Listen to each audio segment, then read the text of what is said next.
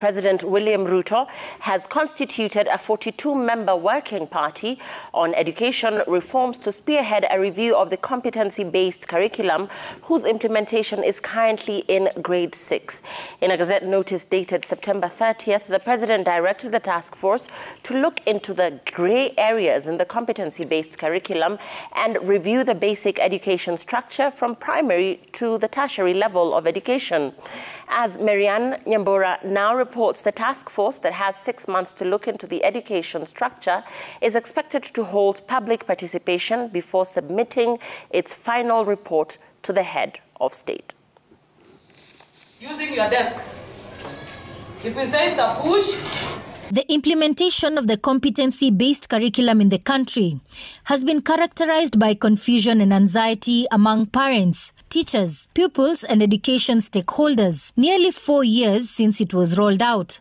The discussion formed part of President William Ruto's maiden speech during his inauguration as president two weeks ago. There is a, a robust conversation, ladies and gentlemen, in the country on education, and in particular, the implementation of CBC curriculum. Public participation is critical in this matter. I will establish an education reform task force in the presidency, which will be launched in the coming weeks. It will collect views from all players in line with the constitutional demand of public participation. As such, President William Ruto today gazetted a 42 member and a seven bench secretariat that mainly comprises educationists to evaluate the competency based curriculum. The working party will be chaired by former Moi University Vice Chancellor Raphael Munavu. The task force is tasked with evaluating the competency based curriculum, assessing and recommending an appropriate structure to implement CBC and studying the laws that govern the CBC. It will then make recommendations for a review of the legislation with a view to address duplication. The task force is also required to assess the concept and implementation of key facets that guide the competency based curriculum. This include value based education, community service learning, and parental empowerment and engagement. Education stakeholders were debating over the heavy burden shouldered by parents who are required to finance the education of their children under the CBC.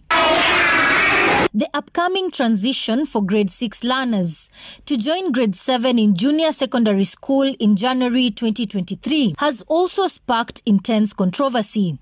And we are particularly alive to the anxieties of parents on the twin transition of the last 844 class and the first CBC class in January next year.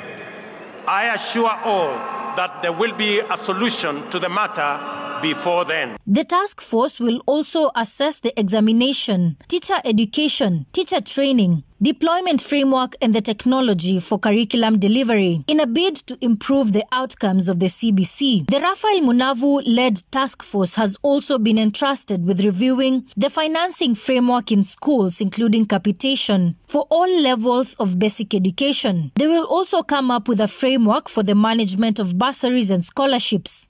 Tertiary institutions and universities have not been left out, as the 49 member task force will also look into the review of governance and legislation on tertiary education funding entities. The task force has six months from the date of the Gazette notice to conclude its reviews and submit its final report.